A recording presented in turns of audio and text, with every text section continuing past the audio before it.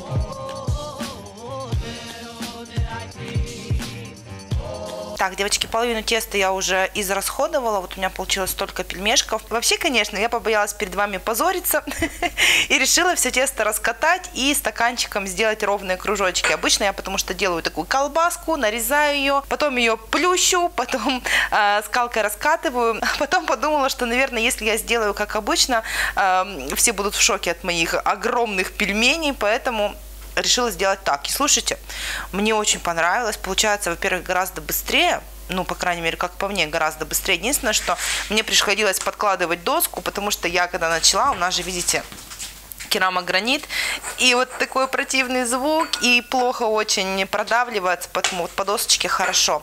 Так что вот, очень быстро, очень мне понравилось. Единственное, что я думаю, вот Илюша сейчас увидит, какие красивые пельмешки получились, и больше лепить не будет, скажет, сама уже умеешь. В общем, ладно, у меня еще осталось столько же теста, так что будет, ну вот досочка нам хватит. Не знаю, сколько съедим, остатки заморозим.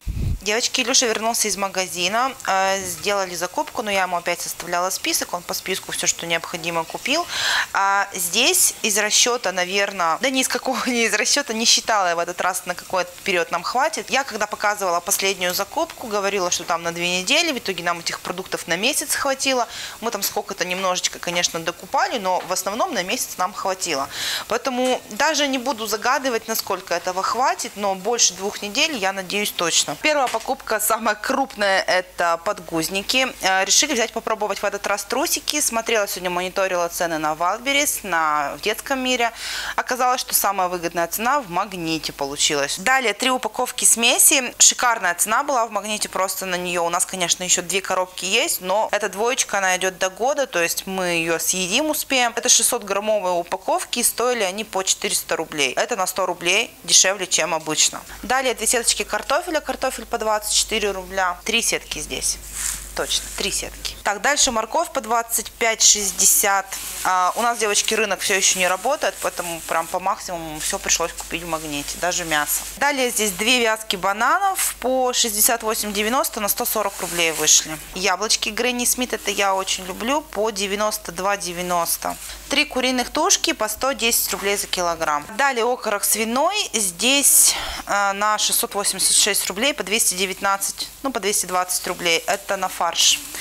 Фарш у нас закончился, потому что мясо еще с прошлой закупки осталось. А, там у меня осталось и на стейки, и на гуляши, а вот фарш закончился у нас как-то быстро, поэтому здесь вот на фаршик. Так, это Сеньки коробочка сока. Он у нас очень любит фрутоняню. Макарошки. А, значит, две упаковки спагетти по 60 рублей. Упаковка спиралек по 60 рублей. И вот такая вот упаковка спиралек. Илюша говорит, что там, видимо, что-то с ценником напутали. Сейчас уже в чеке увидел по 90 вот эти. Ну, должны быть безумно вкусные, конечно, за такие деньги. И еще вот такие две упаковочки макарон щебекинские. Щебекинские, не щербининские. Ракушки и рожки. По 60 рублей тоже. Две упаковки отрубей ржаных. Это мы с Сенькой очень любим, кушаем их много едим отрубей. А хлебушек вот такой европейский, тостовый. Сейчас перекусим быстренько, бутербродики сделаем. Там где-то должна быть колбаска. Так, хлебцы вот такие вот амарантовые. Это для сени три упаковочки. Две упаковки риса длиннозерного пропаренного и упаковка сахара. Пачка творога агрокомплекс. Агрокомплекс вкусная очень молочка. Киви несколько штучек здесь по 120 по 130 рублей на 71 рубль. Три головки чеснока по 350 рублей, три штучки на 52 рубля. Да, брокколи вообще шикарное, такое большое, крупное. Это, это для Софишки брокколи для, на пюрешечке по 150 рублей, здесь на 110. Так, шампиньоны резаные, замороженные, э, супчик варю, еще можно что-нибудь приготовить. Ну, у меня мальчики грибы не едят, Поэтому тут как бы нормально, мне этого надолго хватит. Шампиньоны по 160 рублей, здесь на 141 рубль. Лимонный сок у меня закончился. Мне обычно тоже такой э, баночки надолго очень хватает. Так, немного докторской колбаски. А, вот есть тут по 209, ну по 210 рублей. 7 это со скидкой 50%. Значит, так 400, да, она стоит. На 75 рублей. Две баночки йогурта натурального, две баночки сметаны, тоже одну мы сейчас начнем кушать с супчиком, а одна тоже будет на Филадельфию. Три баночки томатной пасты. Томатную пасту берем вот эту вот давным-давно. Отличная паста, она дешевая и хорошая. Далее кетчуп, горчица, майонез. Два пакета кефира. Так, ну и вот тут по специям немного. Хмели сунели, девочки, по 5 рублей было, по 6 два пакетика. А, чеснок был со скидкой 30 рублей. А, перец черный молотый тоже что-то там 5 что ли рублей. 7 рублей. И разрыхлитель теста. Так, это э, все покупки с э, гипера с магнитом. По чеку, смотрите, получилось на 6 544 рубля. И есть еще один пакет с э, другого магазина. Это вообще не из продуктового магазина, это бактерии для септика. А, четыре вот таких пакета. Илюша уже брал их, говорит, что хорошие. Работают э, при закрытой крышке люка, без вентиляции, нормально они погибают. И такой вот тоже брали, тоже хороший.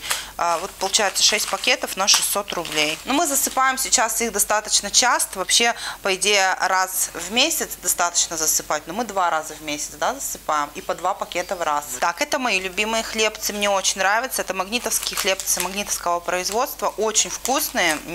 И есть такие же, это есть у них такие же еще гречневые или гречишные. Очень вкусные. Мне прям, я довольна. Так, помидорки. Я уже про помидорки вспомнила поздно, уже потом уже Илюша в магазин сходил, я вспомнила, что помидорки забыла написать. Помидорки по 130 рублей, здесь на 114. И один огурчик. На 22 рубля вышел огурчик. По 84 рубля за килограмм. Свекла. Будем сегодня варить борщ или завтра. 62 рубля за пакет. Ну, соль. Соль 11 рублей. Так, лук на 50 рублей. Каша ячменная. Ну, это, короче, по ошибке. Мыло, масло растительное. Так, и вот такая вот консерва для собак. Э, их 10 банок. А, это мы берем для Макса, варим ему кашу гречневую, 400 а, грамм, плюс 2 банки вот таких консервов. Получается, ему вот этого хватает дня на 3, на 2, ну по-разному. В принципе, вот мы уже третий раз берем, вполне неплохой, там прям мясо, субпродукты, в общем, все как надо. По чеку получилось на 997 рублей. Вот, в общем, вот такая вот получилась закупка. Общая сумма 8200. Не знаю, насколько нам этого хватит. В принципе, сейчас смотрю и думаю, что, наверное, на месяц этого точно не хватит. Дай бог, чтобы на две недели хватило. Ну, макароны, понятно, там макарон много, крупы, э, гречки не было. Опять в магазинах не было гречки. Нормально не было гречки, Леша говорит, только по 100 рублей. А, поэтому гречку надо будет еще докупать. В принципе, остальные там какие-то крупы у нас есть. Овсянка, манка, э, круглозерный рис, все это есть. Поэтому не знаю, посмотрим, насколько нам этого хватит. В общем, вот такая вот закупочка. Сейчас буду все обрабатывать и все убирать. В общем, заглянула сейчас в холодильник, представляете, у меня пропадают помидорки, надо быстренько их куда-то применить, выбросить, но рука девочки не поднимется серьезно. Поэтому я сейчас все лишнее срежу и решила сделать салатик. Э, салатик составлю из того, что есть в холодильнике. Яйца вот поставила отвариваться, а, пекинскую капусту туда покрошу, огурчик, сыр натру немножечко, и сделаю заправку сметана с чесноком и с горчицей. Не знаю, вкусно будет, нет. В общем, скажу вам потом, вкусно, нет, салат получился. Но мне кажется, что должно все нормально сочетаться.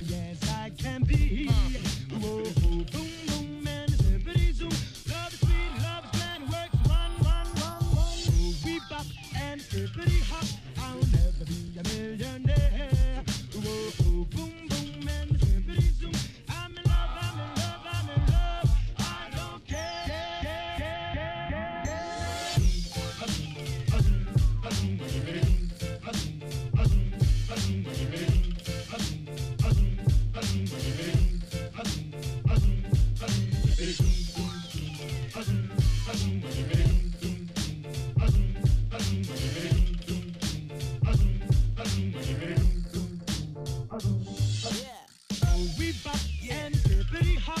I'm as happy as I can be. Uh, uh. Boom, boom, boom, and zippity zoom. Love sweet, love works one, one, one, one. We bop and bippity hop. I'll never be a millionaire.